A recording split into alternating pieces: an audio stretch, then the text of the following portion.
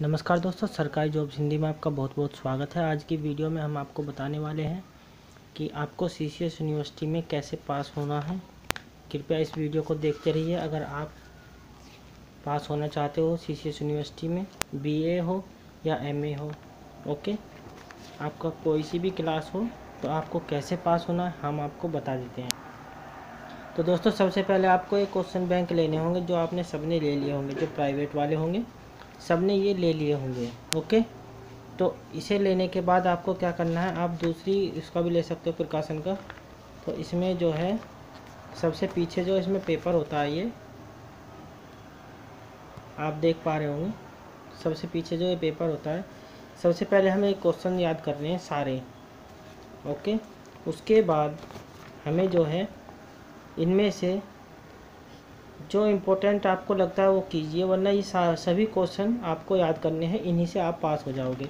और इसमें जो है आपको इसे याद करने की ज़रूरत नहीं है, इसे आपको पढ़ना है, समझना है। तो दोस्तों अब जो बात आती है, वो ये आती है कि हमें इसमें ये याद तो कर लेंगे, मगर इतना कुछ लिख के कैसे आएँगे पेपर में कैसे लिखेंगे, इतना कुछ, क्योंकि वहाँ तो बहुत ज़्यादा लिखना होता है, तभी नंबर मिलेंगे आपको।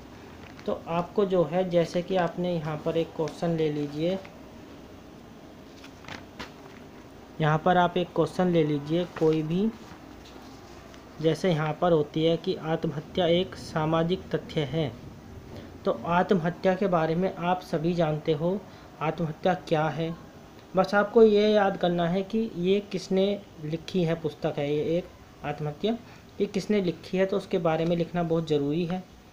और थोड़ा सा तो आपको याद करना होगा, ज़्यादा याद नहीं करना। तो आत्महत्या के बारे में आप सभी जानते हो आत्महत्या क्यों की जाती है, कैसे की जाती है, किन हालात में की जाती है। तो दोस्तों, जैसे कि मैंने आपको एक क्वेश्चन बताया, इसकी विवेचना करनी है। अब विवेचना करने के लिए आपको सिर्फ़ इसमें अगर आप बीए कर रहे हो और आपको ऐसा कोई क्वेश्चन आता है तो आपको मिनिमम चार पेज भरने ही होंगे। और चार पेज कौन से होते हैं? वो चार पेज ऐसे होते हैं। एक, दो, यानी कि जो एक खड़ा पेज है, ये दोनों तरफ़ से और एक और पेज दोनों तरफ़ से ओके तब आपको नंबर मिलेंगे और तब भी इतने नंबर मिलेंगे कि आप पास हो जाओगे।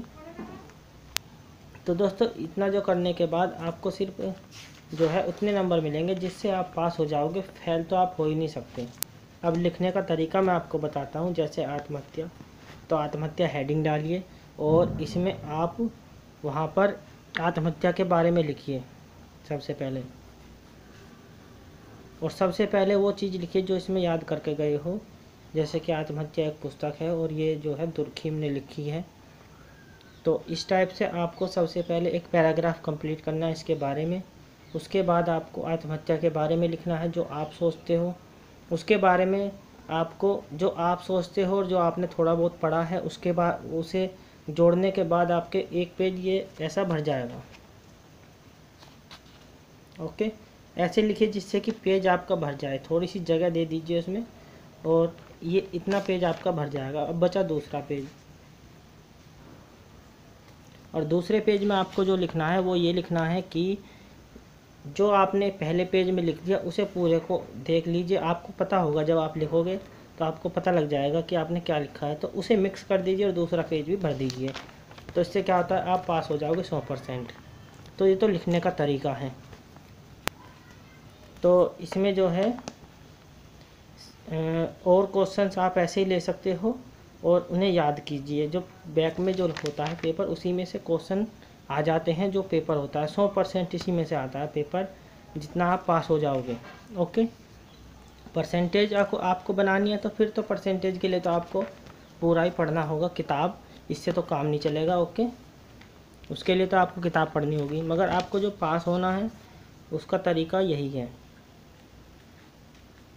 अब जो है, यहाँ पर आपको, मैंने जैसे बताया आपको, ये प्रश्न पत्र जो पीछे दे रखा है, ये पूरा याद करना है और इसमें जो है इम्पोर्टेंट हेडिंग्स आपको देख लेनी है, एक बार पढ़नी है।